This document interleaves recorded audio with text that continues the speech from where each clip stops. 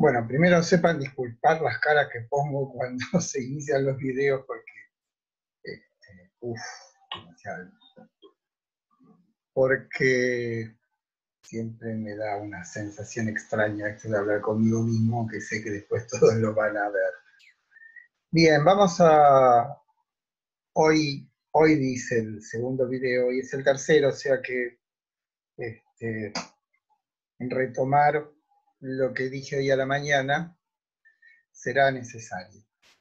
Estábamos justamente en el punto en el cual decíamos que la realidad tal como la conocemos, conocemos es un resultado. Y es el resultado de una actividad. Y esa actividad viene de parte del entendimiento. Y decíamos que viene de parte del entendimiento porque, siendo que la sensibilidad es pasiva, lo único que hace, y este hacer es un hacer sutil, es un hacer, digamos, que lo llamamos así, pero está lejos de lo que hace alguien con las manos, está lejos de lo que hace un, alfarero, un albañil, ¿no? Por eso, por eso en vez de decir construir, decimos constituir, que resulta un poco más sutil. ¿Por qué? Porque es una acción espontánea, no es una acción que de pronto nuestro entendimiento dice, voy ahora a percibir esto y le daré el contenido significativo, sino que eso ocurre y la palabra que sacan es espontaneidad, es espontáneo ese movimiento. Bueno, vamos entonces a compartir pantalla y seguir con lo que estábamos hoy. ¿sí? que yo tengo mis problemas aquí, como siempre, este, hasta que encuentre lo que tengo que encontrar.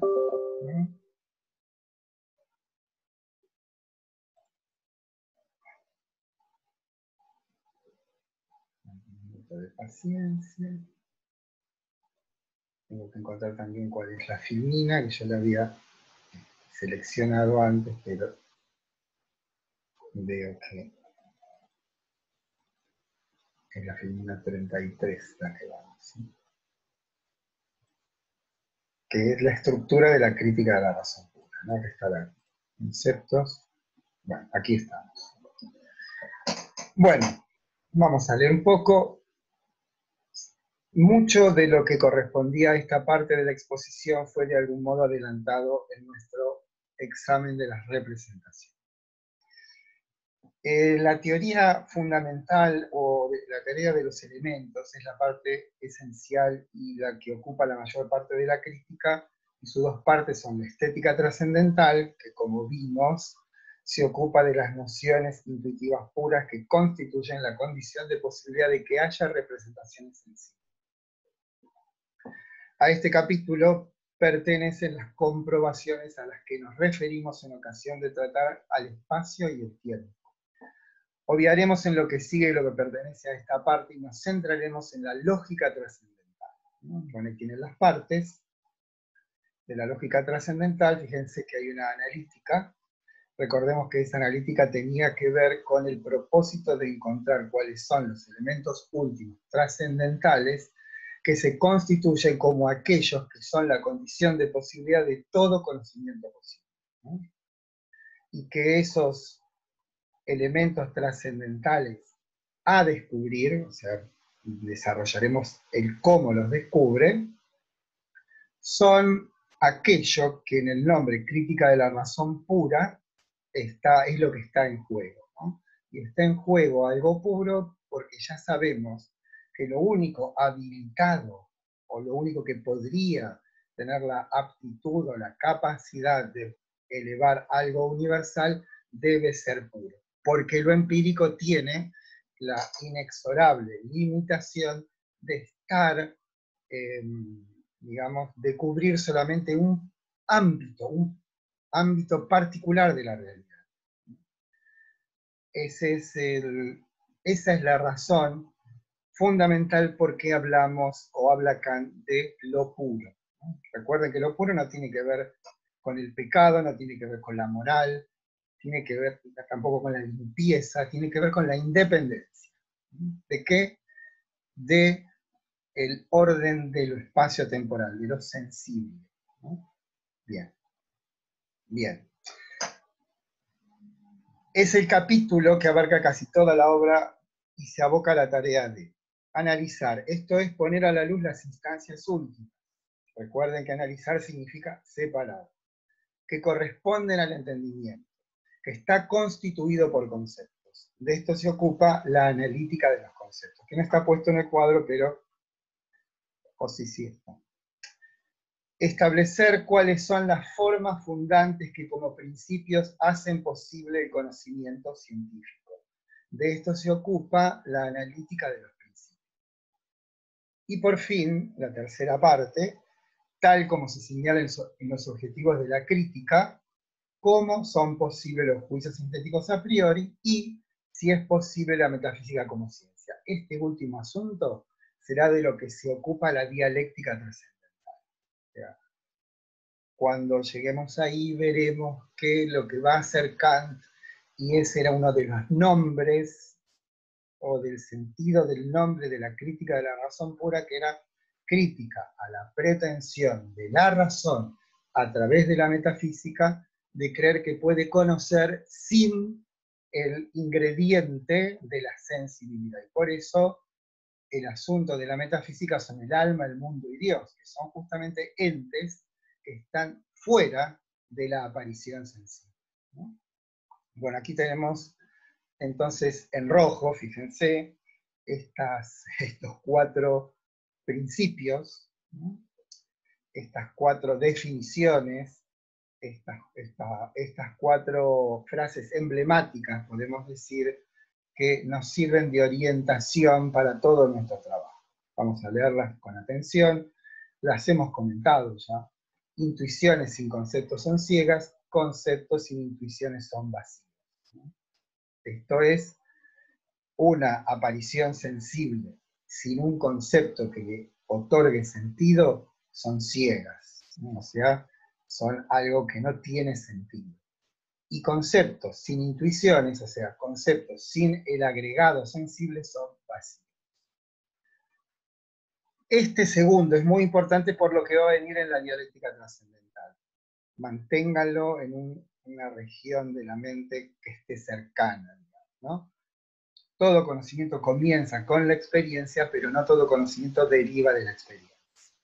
Es cierto, y en esto le da, la razón a los empiristas, que todo conocimiento comienza por una aparición sensible, comienza con la experiencia. Pero no es suficiente la experiencia. Y por eso no todo conocimiento deriva de la experiencia. Por ejemplo, las intuiciones puras del espacio y el tiempo no vienen de la experiencia, pero la hacen posible. Y después esta metáfora poética de la paloma creería que podría volar mejor en el vacío. Recuerden esto, que está referido a la metafísica, que le está diciendo Kant que vos, la metafísica, creerías que la razón sola puede conocer mejor si no tuviese la perturbación del conocimiento sensible. Pero sabemos que la paloma en el vacío se cae, lo mismo que la metafísica, sin el atributo, sin la aparición sensible, lo que hace es girar en el vacío. Y esta última, que no es de Kant, que la agregamos nosotros, dice que aquello que hace posible la experiencia, por ejemplo, espacio y tiempo, no aparece en la experiencia. Esto lo vimos en su momento y decíamos que por más que buscásemos en una percepción externa al espacio como tal, nunca lo encontraríamos. O sea, el espacio no es un dato, no es algo que venga de la experiencia, sino algo que hace posible la experiencia. Bueno, tomemos estas cuatro frases como orientadoras de lo que sigue en nuestro trabajo.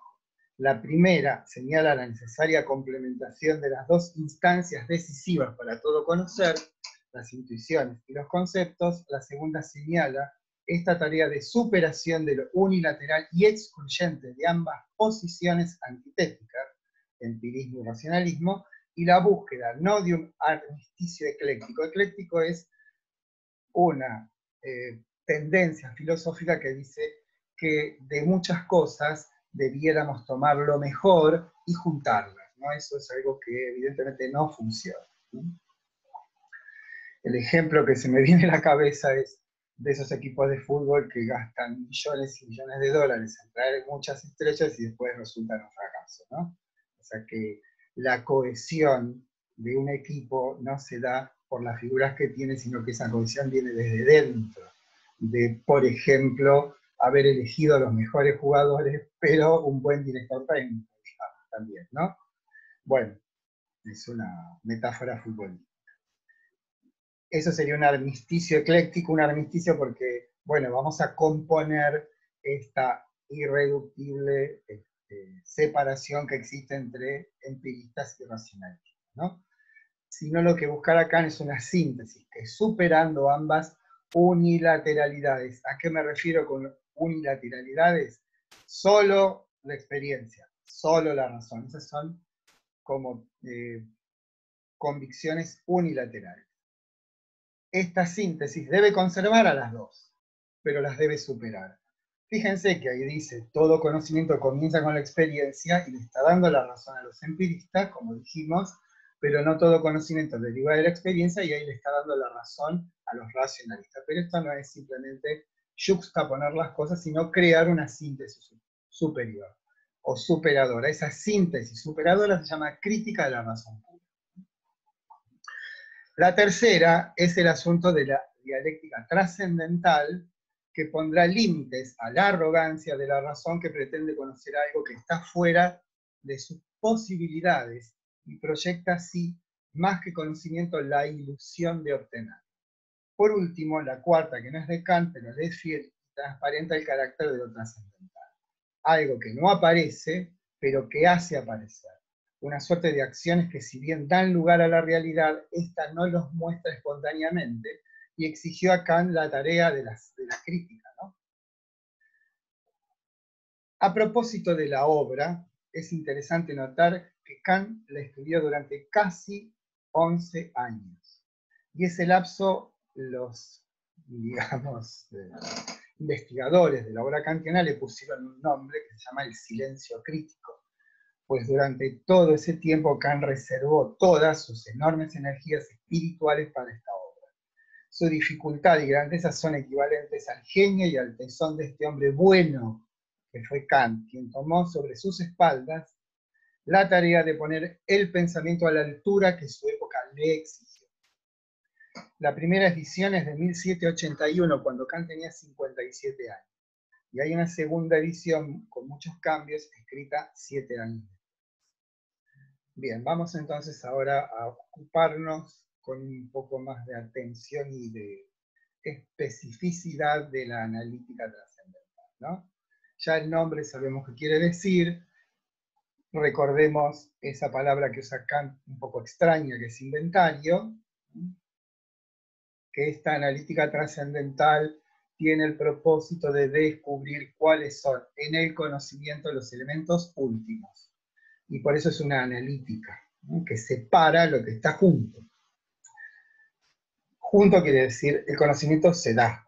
La cuestión ahora es ver cómo se compone, de qué se compone el conocimiento y para saber de qué se compone tenemos que separar los elementos esenciales y después ver cómo volverlos a juntar. Ese es el problema más difícil de toda la crítica.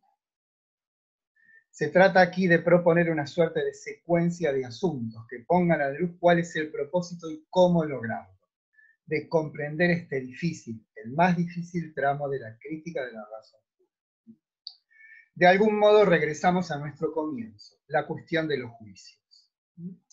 Recordemos que es en los juicios donde reside la verdad. Y el asunto de Kant es descubrir cómo es posible que nuestro entendimiento haga posible que haya conocimientos universales y necesarios. Este propósito se expone en la pregunta que sigue. ¿Qué puedo conocer?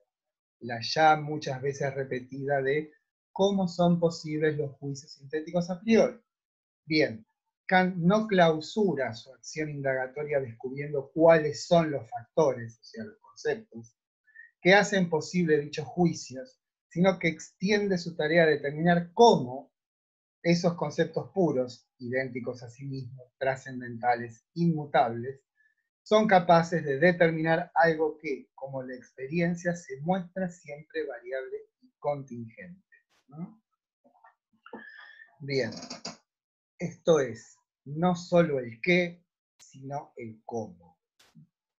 Bien, estos son los pasos que ustedes, si pudieran y querrían, guarden en mente, vean esta secuencia, porque esta secuencia es muy iluminadora, iluminante respecto a poder dilucidar en qué consiste este momento de la crítica de la razón. Bien, conocer es juzgar, eso ya lo sabemos. Nuestro problema, como decíamos recién, o el problema de Kant es ver cómo es posible que nuestras capacidades cognitivas, aquellas que, partiendo de un dato sensible, pueda, sin embargo, siendo este dato fragmentario, contingente, ser elevado a universal. El ejemplo, ya me canso de decirlo, es la física de Newton. ¿no? Pero aquí la cuestión es cómo volver otra vez. Conocer es juzgar. Y juzgar es una acción, eso también está claro si bien no, es una acción material, una acción que se hace con las manos, es una acción que ocurre claramente dentro de nuestra mente. Juzgar es una acción. Si es una acción, debe surgir necesariamente del entendimiento, esto ya lo hemos dicho muchas veces ya. La sensibilidad es pasiva. Siendo que solo hay dos capacidades cognitivas y siendo una pasiva, no queda otra posibilidad que es que sea el entendimiento el que lleva a cabo esa acción que tiene como resultado el juicio. Siendo que el entendimiento es la facultad de los conceptos, obviamente los que llevan a cabo la acción de juzgar deben ser conceptos. Ahora bien, la cuestión entonces es si conocer es juzgar y juzgar es una acción y esa acción solamente puede ser llevada a cabo por el entendimiento y siendo el entendimiento la capacidad de los conceptos, la facultad de los conceptos, aquellos que hacen posible un juicio deben ser conceptos. Entonces, la tarea ahora es ver cómo hago yo para guiarme, cómo hago yo para descubrir cuáles son esos conceptos claves que dan lugar a los juicios. Bien. ¿Dónde podríamos encontrar las formas de juzgar? Digo formas porque no se trata de todos los juicios que se hicieron, eso es imposible, sino de, en caso de que exista, descubrir una colección de las formas que agrupase a todos los juicios posibles.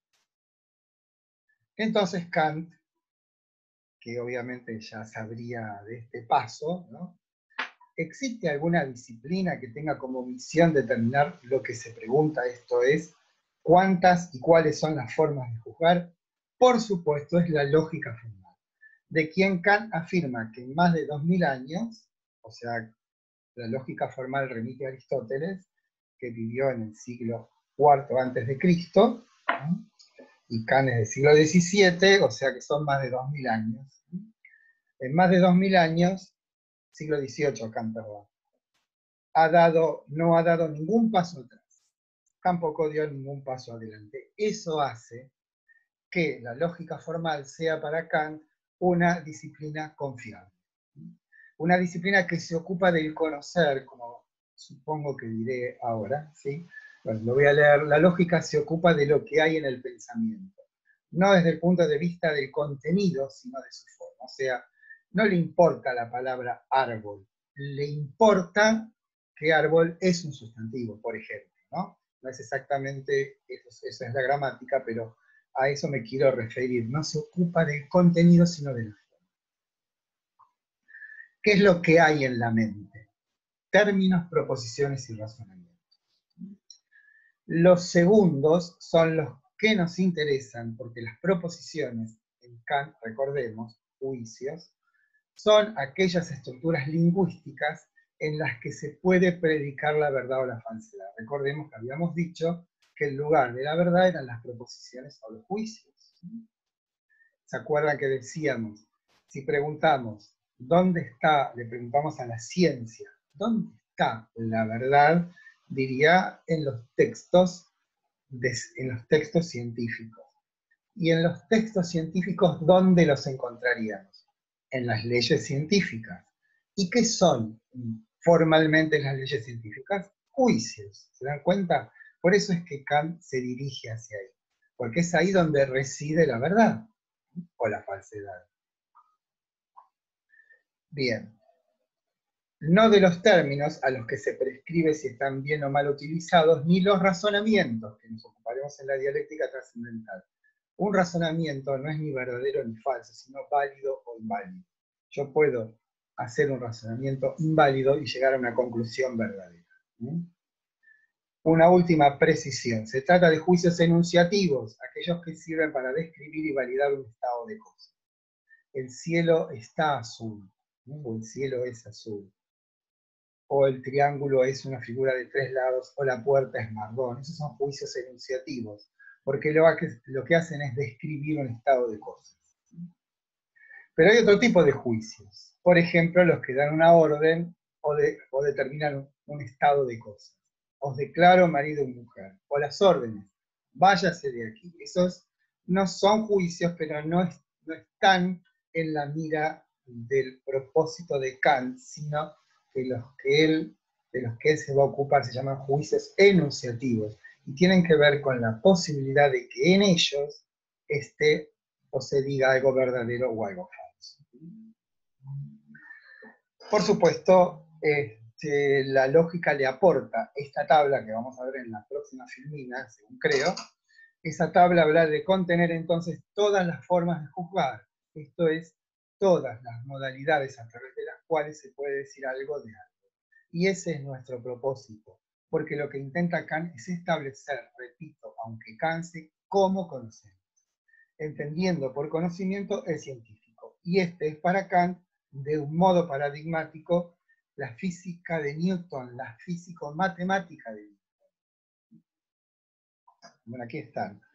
Tampoco se asusten con esto, no va a haber una pregunta que diga enuncie este, el cuadro de categorías y ejemplo, no de categorías, sino de los juicios. O sea, como ven, los tipos de juicio, y están sus ejemplos, tienen una categoría. Las categorías ya las hemos visto cuando hicimos eh, la tabla de los conceptos.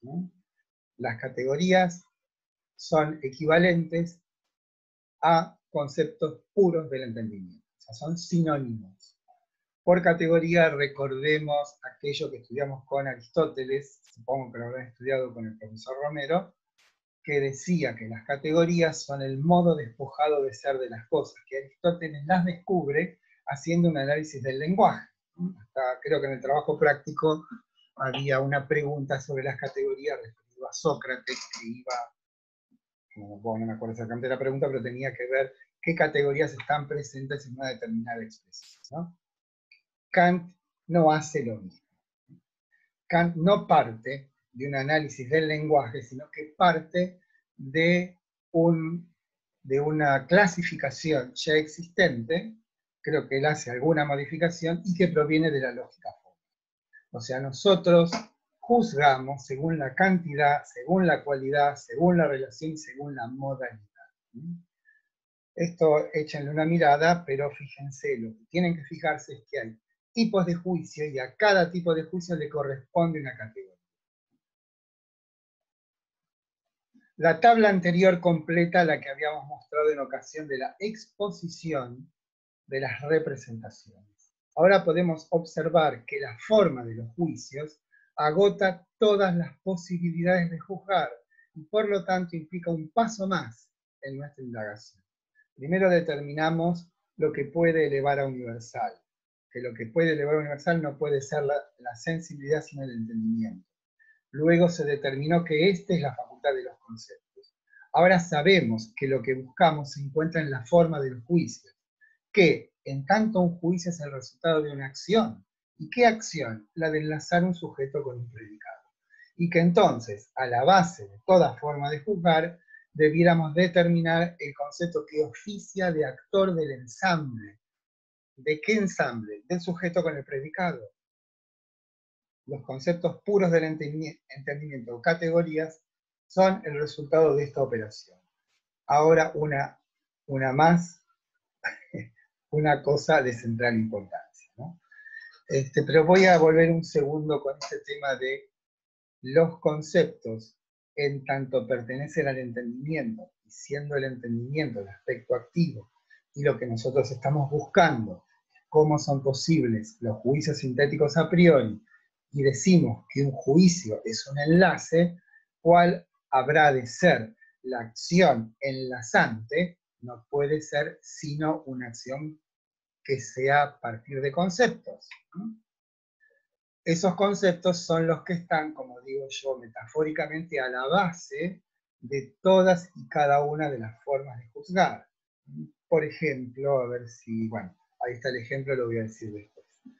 Ahora una pregunta que es obvia, una pregunta para el examen, ¿no? O sea, ¿por qué los conceptos deben ser puros y no empíricos? Fíjense en ese deben en rojo mayúscula, porque aquí está el problema, ¿no? Pero este problema, o este problema más que bien, este asunto, es aquel que inicia la crítica. Estamos buscando cuáles son aquellas nociones de carácter trascendental, esto es puras, que sean capaces de elevar lo particular a universal. No sé cuántas veces lo he hecho.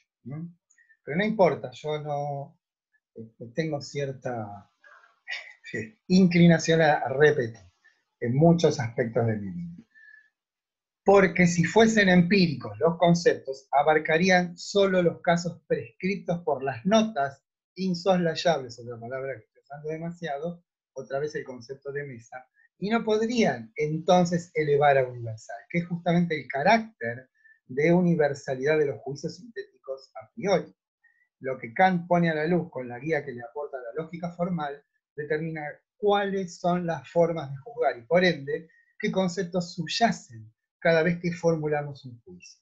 Y acá damos un ejemplo que supongo que aclarará todas las dudas. Todos los hombres son mortales es un juicio. Tenemos un predicado, un sujeto y tenemos un predicado y un verbo que enlaza a ambos, ¿no? El verbo ser. Todos los hombres son mortales. Desde el punto de vista de la cantidad es universal, porque abarca a todos los casos. Otro sería, algunos hombres son argentinos, y otro sería maradones argentinos, o sea, universales, particulares singulares, ¿no? Eh, desde el punto de vista de la cualidad es afirmativo, ¿por qué? Porque estoy diciendo algo de algo. También puedo decir, ningún argentino es no argentino, que es una contradicción, ¿no? Esos serían los negativos. Y después están los que se llaman eh, de límite o infinitos, que se llaman, a ver, acá, este, indefinidos, que eso los agrega Kant, ¿eh? pero eso porque tenía cierto también, necesitaba que cada clasificación tenga tres. Creo que un indefinido, el ejemplo es el alma es no mortal, o sea, no estamos diciendo que es mortal, bueno, es, una, es ambiguo.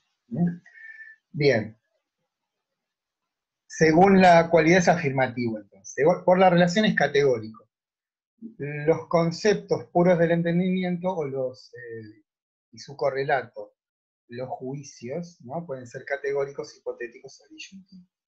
Es categórico cuando afirmo algo de algo.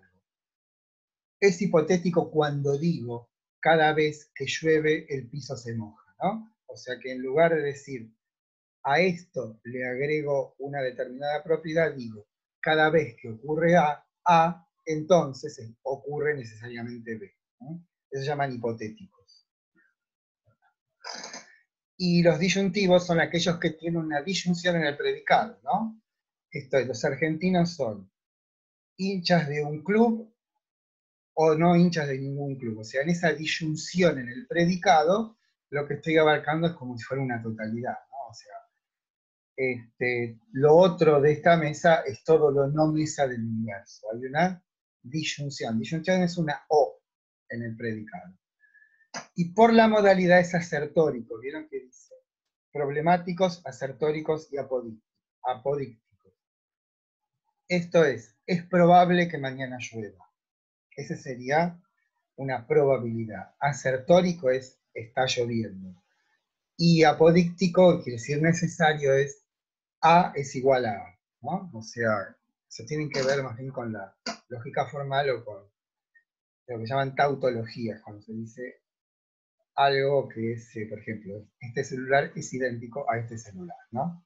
O A es igual a Pero eso no, no importa, lo que quiero mostrar aquí es que con esta clasificación de la lógica formal de los juicios según su forma, se agotan todas las posibilidades de decir algo. Y ese es el propósito de las categorías.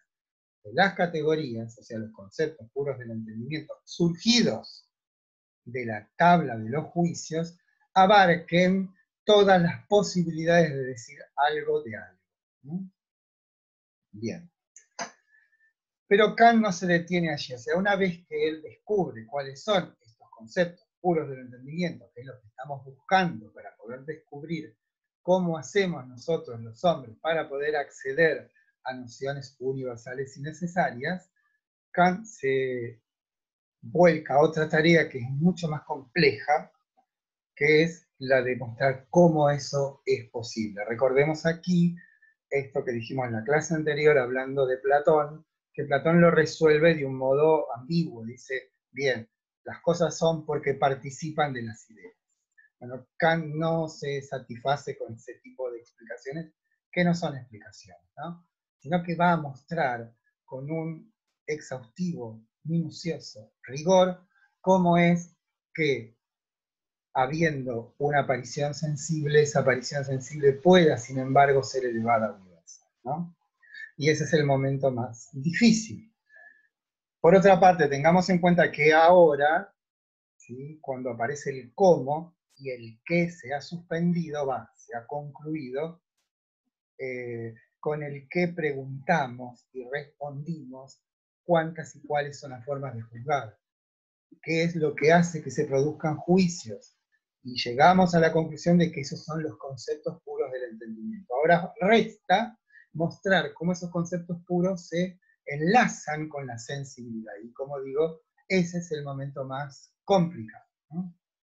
Bien, hasta aquí Kant ha descubierto qué era aquello que enunciamos como debe existir una capacidad cognitiva humana capaz de elevar lo particular a universal. Bien, primero determinamos dónde buscar, en el entendimiento. Luego, ¿qué buscar? Conceptos puros del entendimiento.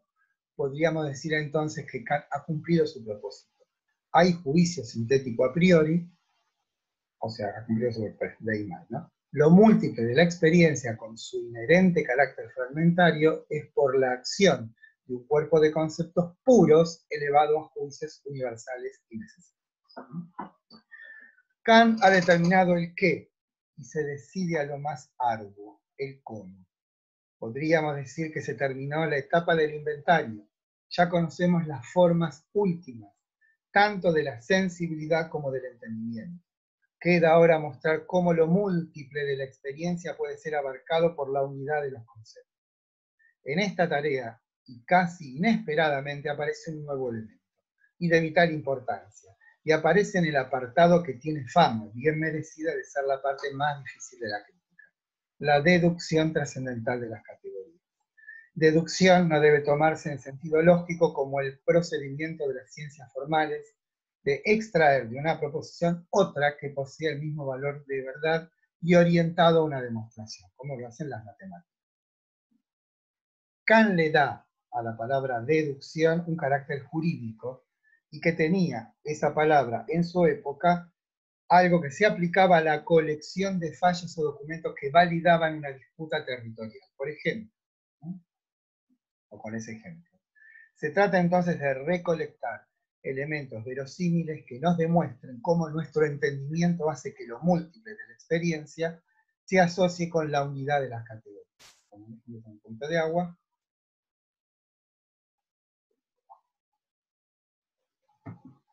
Bien, lo inesperado que anuncié en la filmina anterior es el yo pienso.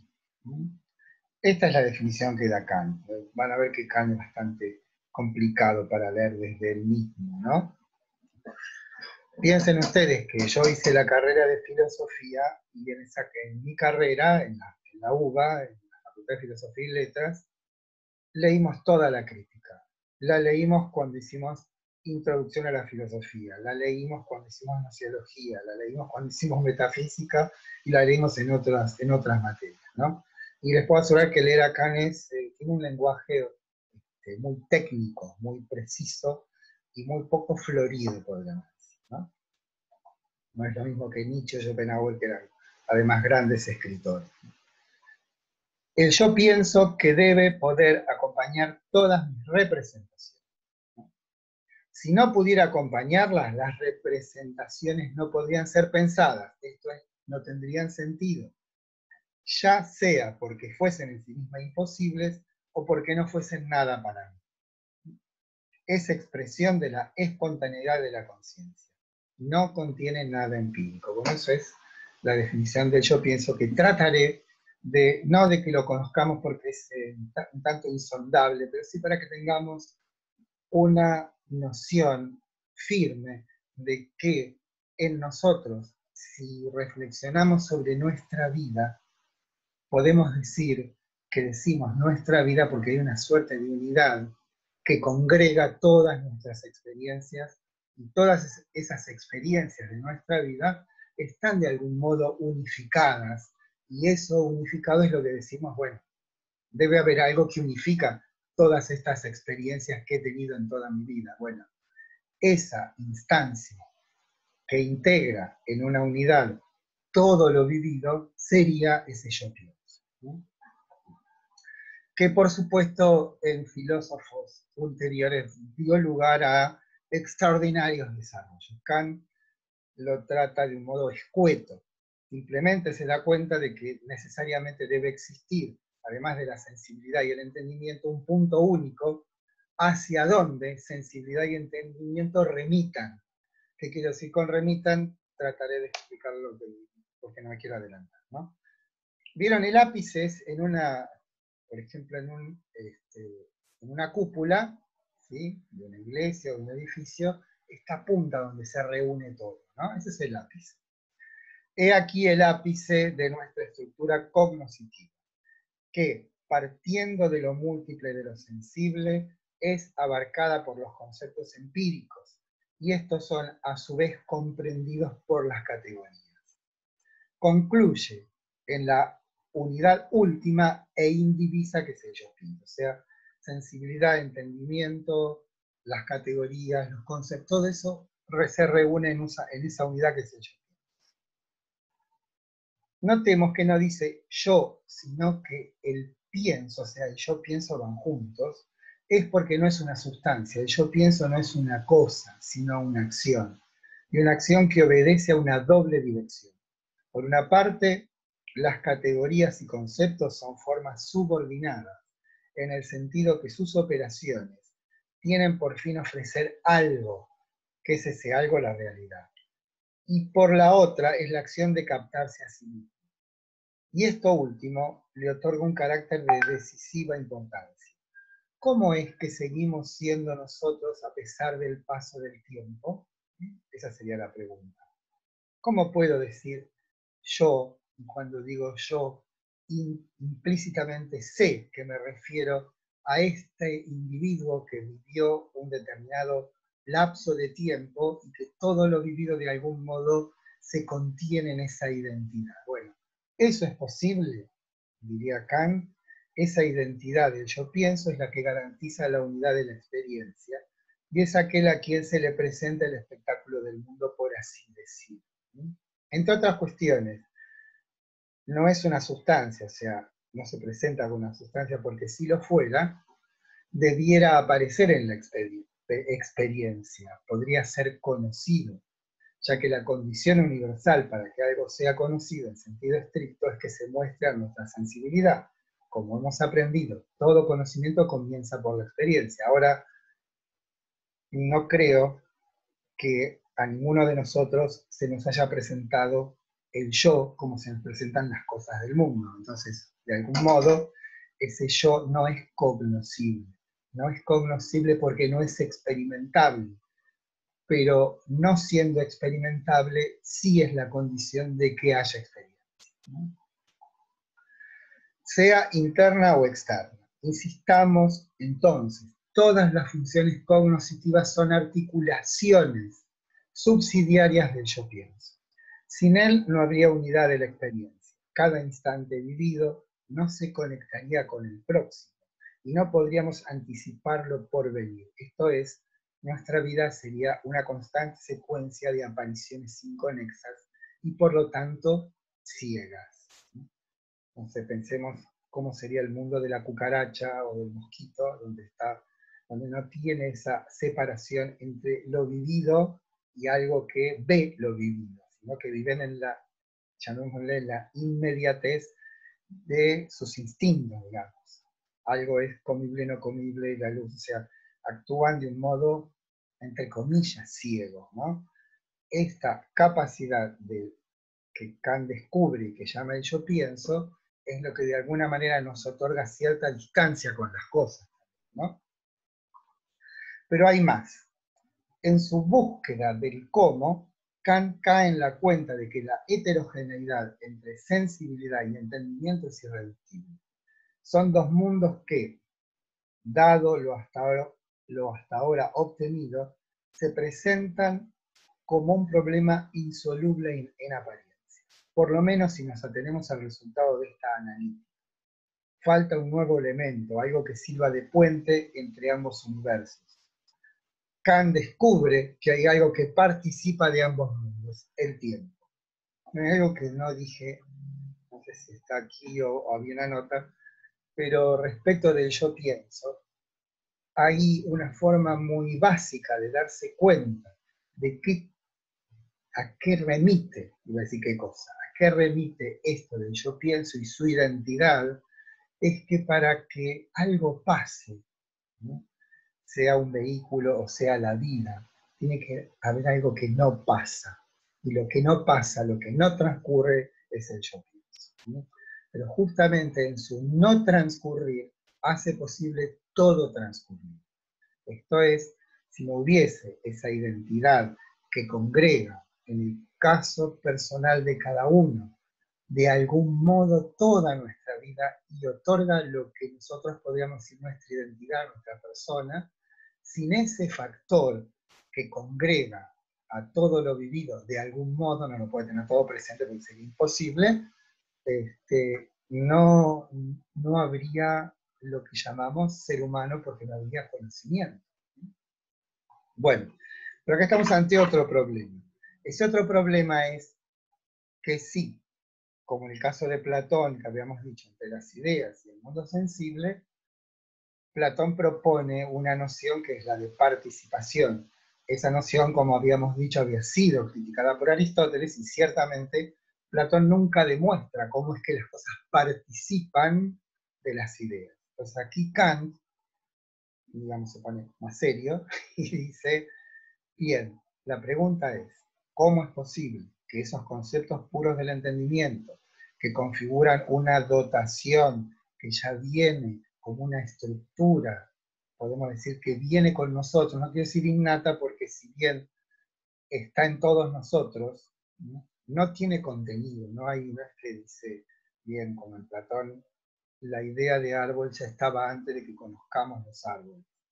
Lo que en todo caso tendremos sería una noción, un concepto que no abarca solo a los árboles, sino a todas las cosas, que es la sustancia, ¿no? O sea, a, eso se refiere, esos conceptos que engloban totalidades como sustancias.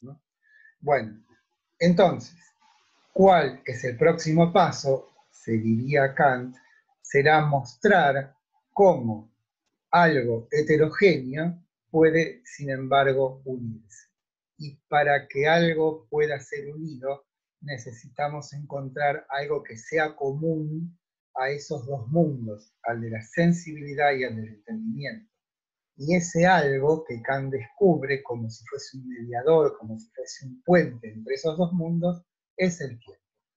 ¿Por qué es el tiempo? Bien, por una parte, hemos determinado en la estética trascendental que el tiempo es la condición universal de toda experiencia sensible, tanto externa como interna. Se acordarán que dijimos que toda experiencia sensible externa es también, o sea, está en el espacio y también en el tiempo.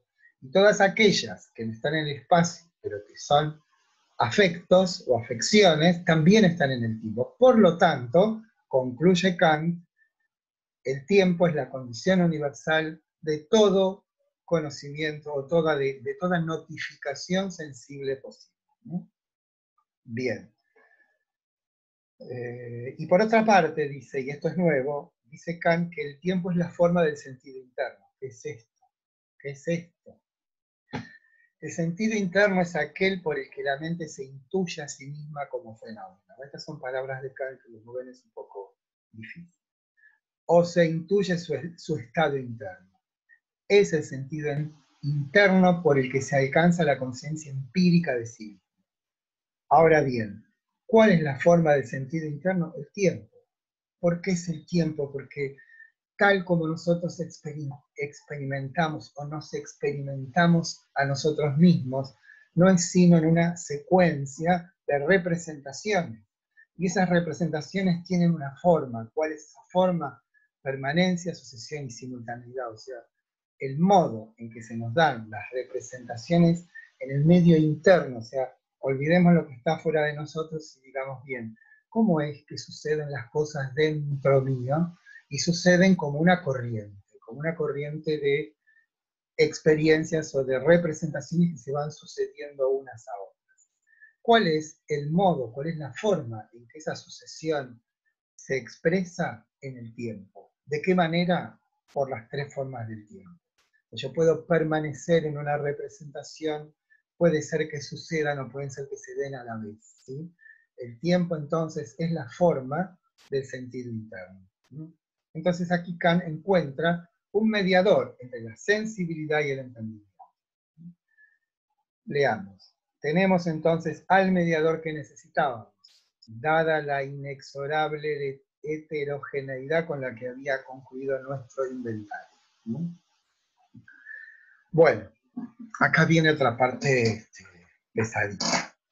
El último paso dado, el de la deducción trascendental de las categorías, abre el camino hacia el siguiente y esencial. Bueno, ¿qué pasa? No es esencial.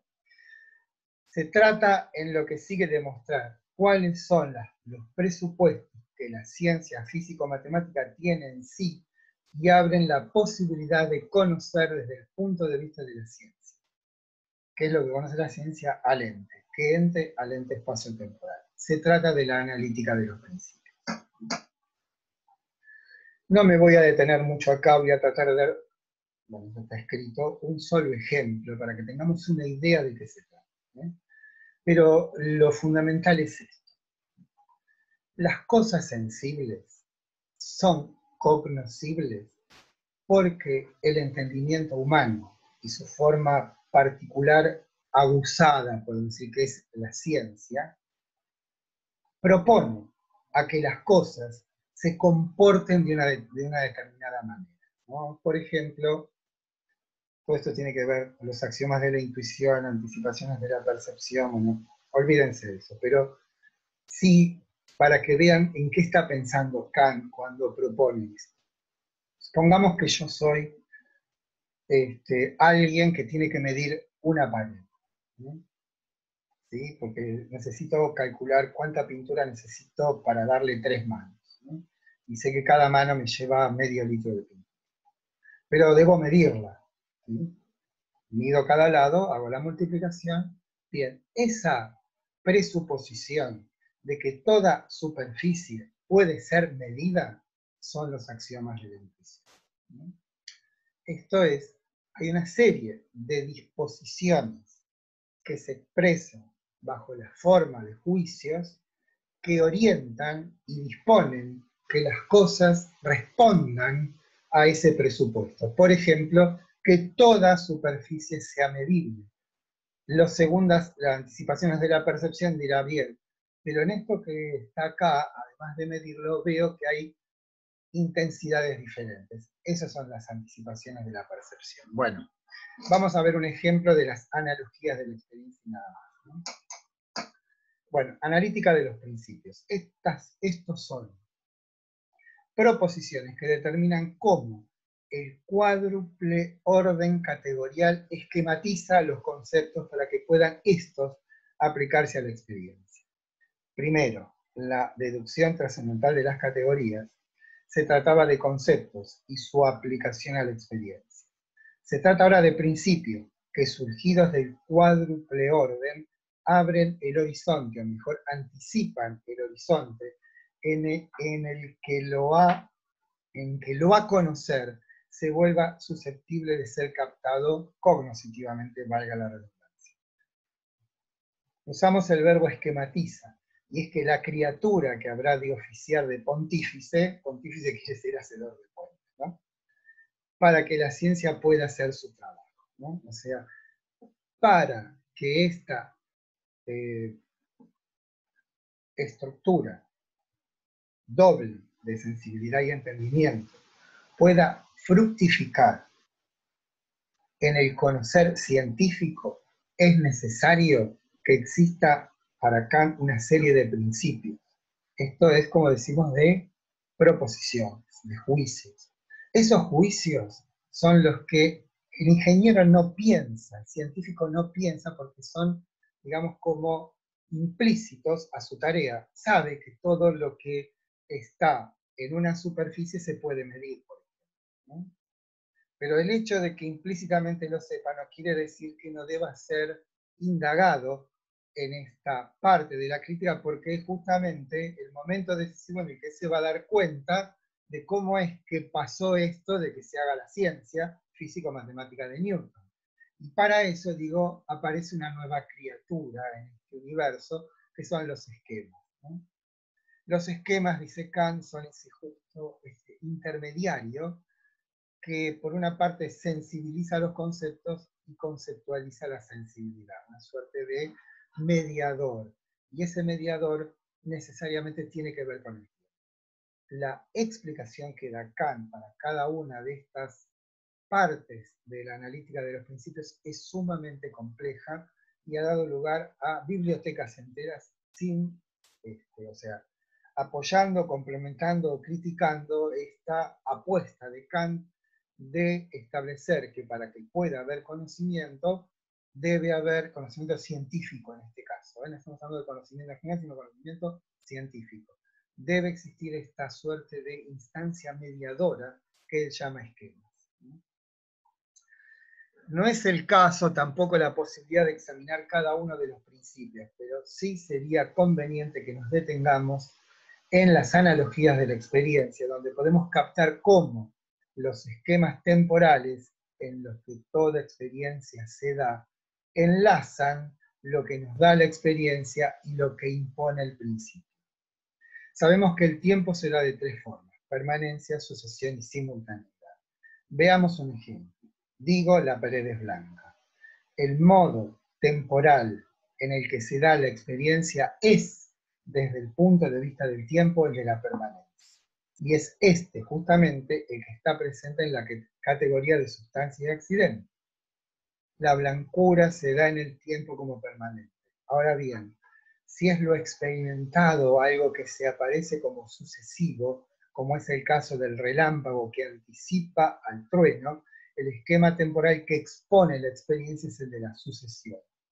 Y desde el lado categorial, la que es capaz de abarcar ese orden de fenómenos es la categoría de causa y efecto. Y si, por fin, lo que se da en el tiempo es simultáneo, será la categoría de acción recíproca la que podrá determinar a ese algo como a través de un juicio como podría ser. Hoy está lloviendo y granizando a la. Sean dos fenómenos simultáneamente. Bien, aquí por fin dirán ustedes y yo, hemos concluido esta primera parte de la lógica trascendental y ha quedado demostrado que los juicios sintéticos a priori son el resultado de una acción conceptual constituyente en el que participan todas nuestras capacidades cognitivas. La conclusión es la consumación de la revolución copernicana, que nos inducía a indagar en el sujeto y no tanto en el objeto, para poder así desentrañar el enigma del conocimiento. Ahora concluimos que la realidad es una hechura del sujeto, es algo que estamos produciendo, pero ese sujeto no es Eduardo Oswald o Juan Pérez.